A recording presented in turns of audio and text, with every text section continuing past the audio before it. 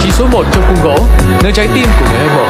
Và người mang cho em tổn thương, em vẫn yêu vẫn không than van một lời. Để rồi nhầm lấy em những vết cắt khắc sâu vào trong tim này. Muốn yêu một người, thật lòng phải chẳng khó quá phải không?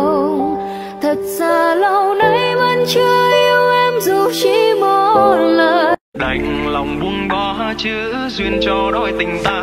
Giờ cách xa em bước tiếp theo ai?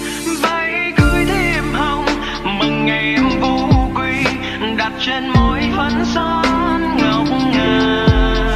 Tiếng pháo vui mừng, đàn sầu vương bên tai, lòng chia cách